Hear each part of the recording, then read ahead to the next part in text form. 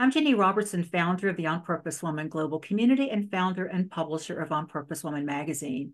I'm here with Cherryll Sevy to talk about her article in the March April issue of On Purpose Woman magazine. Cherryll, thanks for being with me today. Thanks. It's great to see you again, Ginny. I know it's been way too long. Way too it long. has. It has. Before we jump into this really lovely topic, uh, tell our viewers a little bit about you. Well, I'm here in California, Northern California, and I retired about 10 years ago and have been researching and writing on women's issues and basically midlife, life after 50, and you know, kind of what it what it means to live a vital second half of life. Mm-hmm. And one of those biggest things is friendship and community. So that was kind of how this article came about. Yeah, and, found, oh, go ahead. No, that's all right. Go ahead. Yeah, I found out about this article because you sent out your blog to your email list. I'm on it. I read it and I loved it so much that I emailed you and said, Can I use this in the magazine? And the title is How Far Will You Drive for a Good Conversation with a Friend? And you tell a story about meeting a friend for lunch. Please share some of that story with us. Well, I've known Anne for probably about 15 to 20 years. She used to live out here on the West Coast and she moved back east and now she lives in Chicago. I probably haven't seen her for about maybe five years, but we keep in touch sporadically and our lives have taken different directions. And she's running a business in Chicago. And but she had mentioned that she was coming out here to a conference in Monterey, which is about an hour and a half from here and asked if I wanted to get together for lunch or for get together. She didn't even have time for lunch, but this brief little two hour blip. And it was the middle of a California winter, which means rain and wind, no snow. So um, I drove down there and met with her um, for a couple of hours one afternoon. And uh, and it was just the, the funny thing is, and you know this with friends, is that it feels like no time has passed when you've seen a long friend, long time friend and we just picked up right where we left off. We caught up on issues that we're dealing with, um, personal, pr- professional, writing. Um, there was tears, a lot of laughter, and uh, and then she went off to her meetings, and I drove back home. So you drove an hour and a half, half each way in yeah. rain and wind and all that kind of stuff. A typical yeah. California winter, I guess it sounds like. Yeah, right? yeah. Which, which I mean, when when you're talking to some of my, you know, your East Coast um, uh, community. It sounds kind of wimpy, but uh, California's just not used to it in this part. And really, you know, we're not that used to it either here in Maryland. Sometimes it looks like the way people drive. So not everybody's comfortable driving in that. So no. And you know, you said that a lot of people won't. You wrote uh, many people won't even drive half an hour to have lunch with a friend. Yeah. And you had some ideas about that. What do you? Why do you think that might be? Well, I think that COVID did, I, I, think it really had an impact on people in a lot of different ways. Um, I've seen friends of mine that are now very reluctant to drive, um, to be in a group setting, to be in a restaurant, to be indoors. Um, you know, regardless of, you know, that's just their own, I think there's a lot of PTSD surrounding that period of time. And we got out of the habit um, people got, I think, a little bit more um, used to, and in some cases, kind of addicted to social media. Um, Zoom has become very popular, and people think that, you know, some people believe that, gee, if we just have a phone call once in a while or a Zoom call, that that that is a good substitute. And in my opinion, it's not. Um, it serves its purpose. I mean, I'm not denying that it's not a valuable tool, but on the other hand, um, being with people face to face, body language, conversation, the spontaneity of, of, a, of an in person connection is just invaluable. Would you label, if you're going to label yourself introvert, extrovert, do you know where do you fall along that? Are you a little both? I mean, well, I would used to say I was like an, an, an, extrovert, and people, most of my friends would all say I'm an extrovert. But I do need a, a fair amount of time by myself, and I even find that even people that are introverted do need to be out with people, you know, now and again, or we tend to kind of stew in our own juices. and uh, and so I think that COVID and just this time in my life, I've become more more balanced in terms of wanting to be with people, yet needing to refresh my spirit um, by myself. Mm-hmm. I'm asking you that because I Myers Briggs years ago extrovert ENFP. Yeah. And I, I'm an extrovert because extroverts are, you know, we get out there and we do speeches in front right. of people. And because I, I misunderstood the whole, I think a lot of people did the whole yes. introversion, extroversion thing.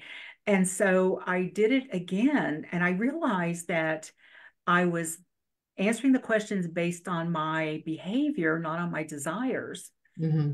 And my desires are I am an, an, introvert who straddles the line. Yeah. Um, I'm a I think I saw somebody named it um, extroverted introvert, maybe something mm-hmm. like that, or mm-hmm.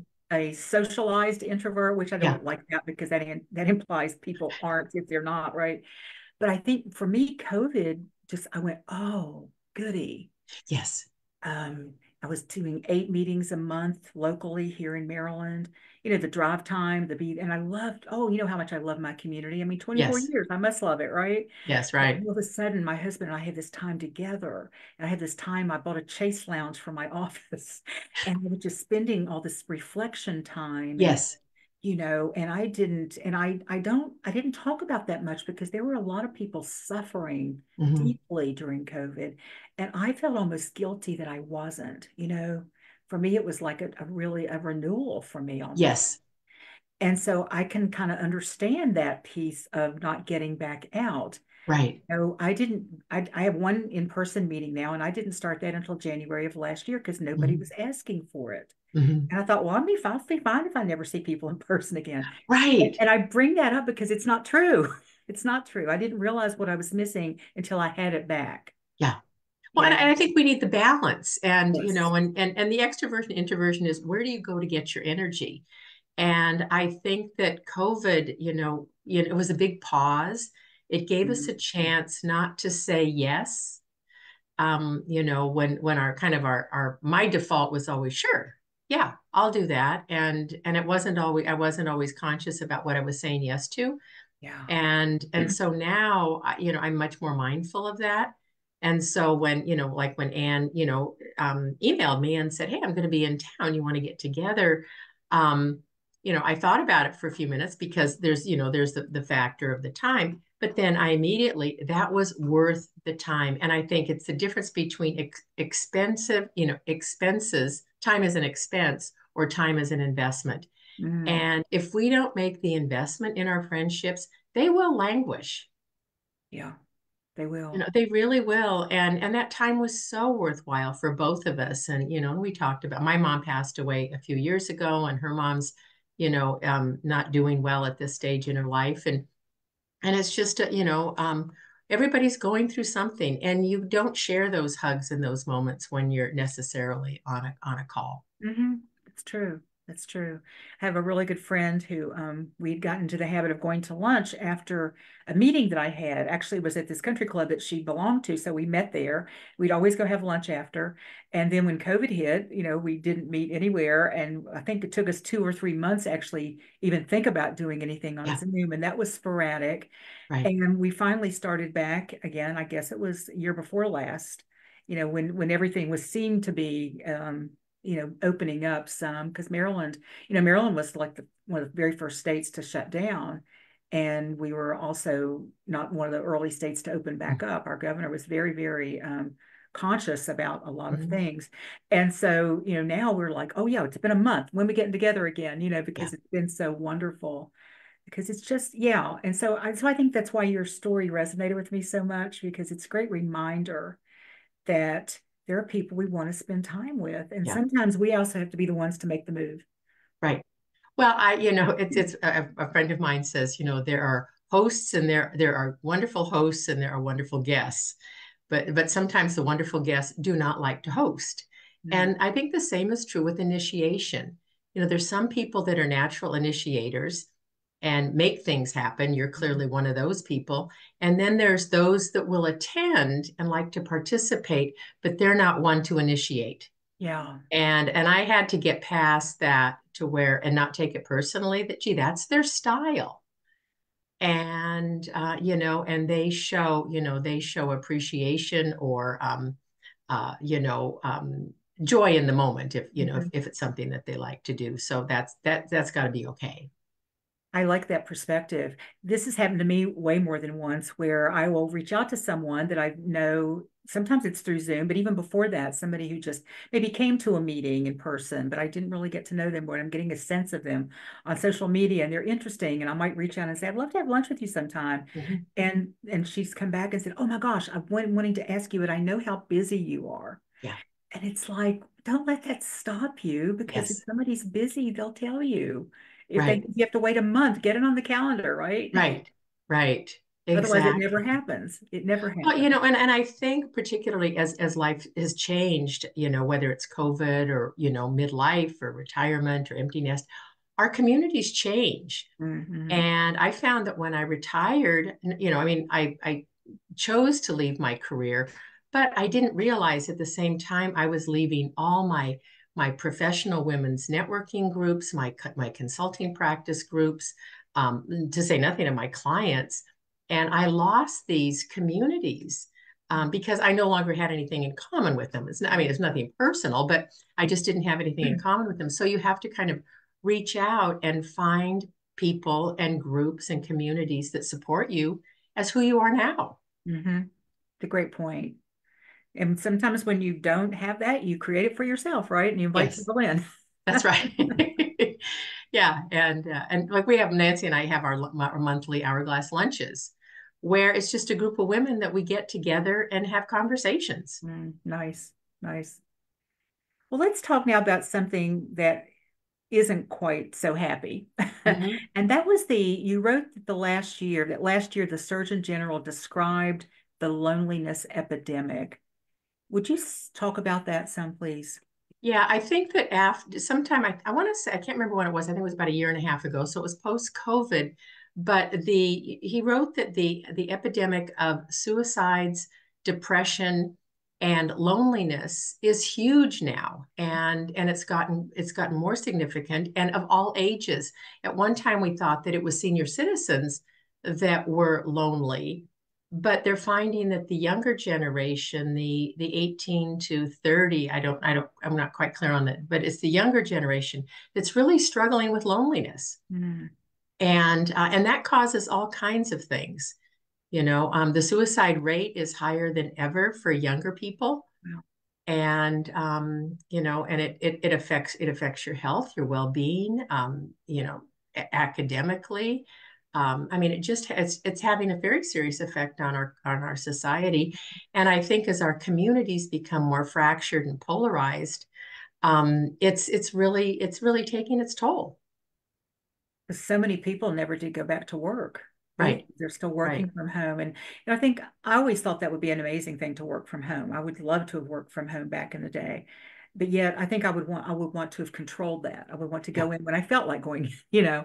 right. And some companies I know are coming, you know, come in one day a week or every two weeks for a group meeting or whatever. But that's the thing I hear most people say that they love that they can get the work done, they can get twice the amount of work done that they could do in the office, but they have no interaction that is Yeah, not on Zoom, and they yeah, really miss that.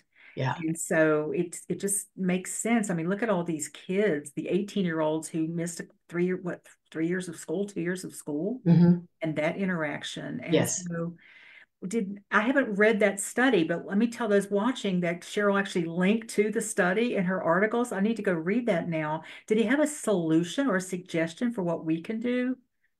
I? I I'm sure he probably did, but I don't re I don't remember offhand what it Okay. is. And what that does though is that that certainly gives me pause that I should continue on, you know, on on combating loneliness and um because I think it is, you know, it, it is it is a real challenge. I mean, even kids aren't going back to school.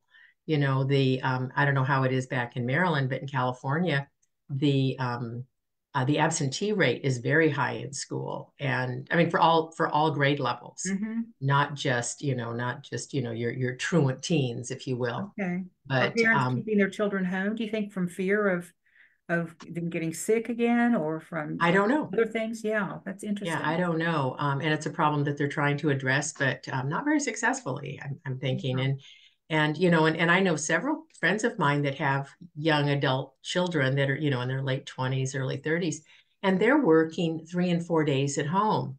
Well heck most of our social life was wrapped around when we were working right? Yeah. And you know after, you know, go out after. Exactly. That's right. And you know going to lunch with your friends. Yeah, Yeah, and and the conversations that you have that are not meeting scheduled meeting related were oftentimes the most valuable conversations. Yeah, that's so true.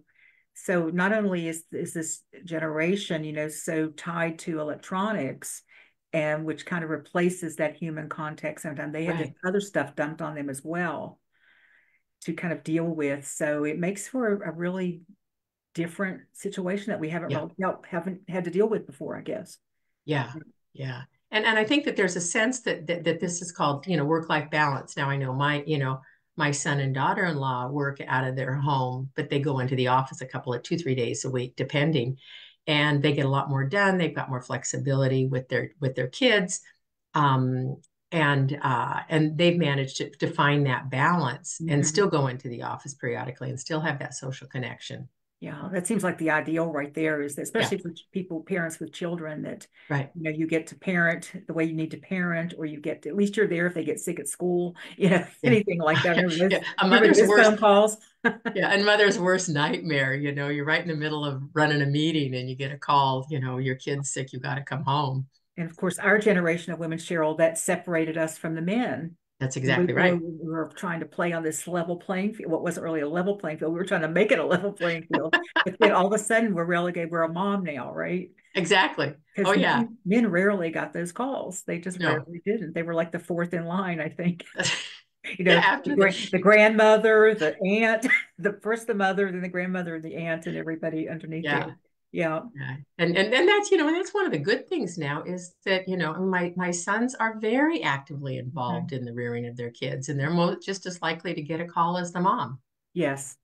When I leave my house like for something early in the morning and the kids are at the bus stop, I see often there are more fathers there than yeah. mothers, which is so cool. And it could be they're working from home, but great. Right. I mean, it's just it's just really yes. cool to see. So I think, you know, there's good things behind all of these perceived kind of negative things too. There are also some real gifts that have come out of some of this.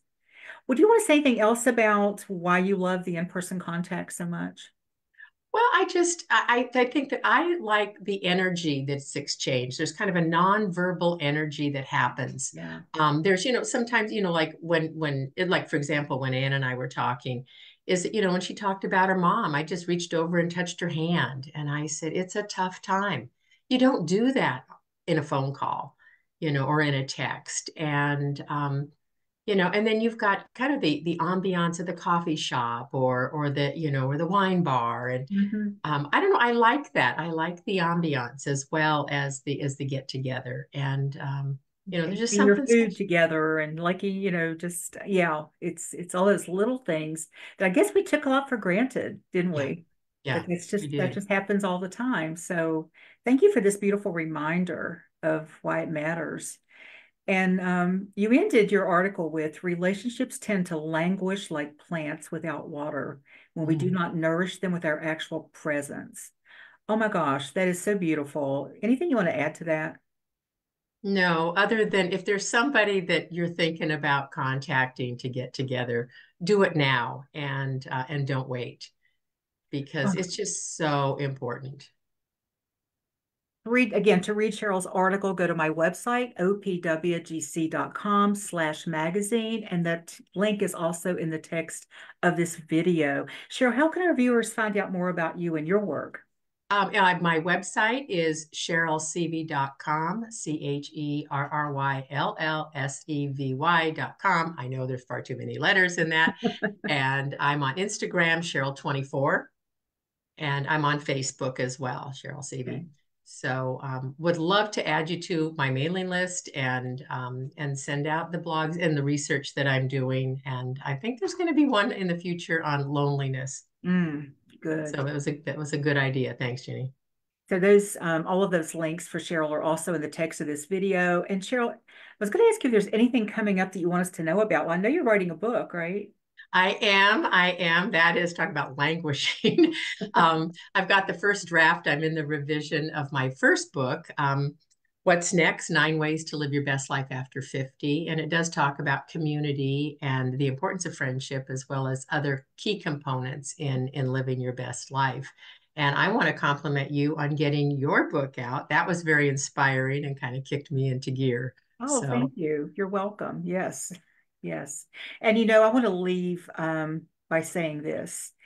if I lived three or four hours from you, I would drive that far to see you because we are on opposite coasts and we've we've never met in person. We've often talked about, wow, you know, wouldn't it be great if we could just get together? I would drive three hours each way to see you, Cherryll not well you know uh, if you get if you get on the right airplane that'll happen. I and the follow-up to my uh, my uh, my blog post i got a couple of comments from some friends and one friend she sent me a note and she said i just flew down for the day to la you know it's an hour flight mm-hmm. to have lunch with three of my college friends. And another friend of mine told me that her mother's best friend from grade school and her mother his mother best friend is 87 drove two and a half hours outside of Chicago in the winter to see her best friend who was in hospice and wasn't doing well. So if this woman can do it at 87, we sure as heck can do it before we then. Sure can. We sure can. well, Cherryll, thank you so much for your beautiful, thoughtful piece and for being here with me today. I Thanks. Thanks it. so much, Ginny. Thanks for the opportunity. You're welcome. And thank I you know. for watching the Real Women, Real Purpose talk show. For more information, on the On Purpose Woman Global Community and magazine. Please click on the links in this video and be sure to check out Cherryll's website for all that she offers. And for more interviews with amazing women living their lives on purpose, check out our YouTube channel, and that link is also in the text of this video. Thanks again for watching.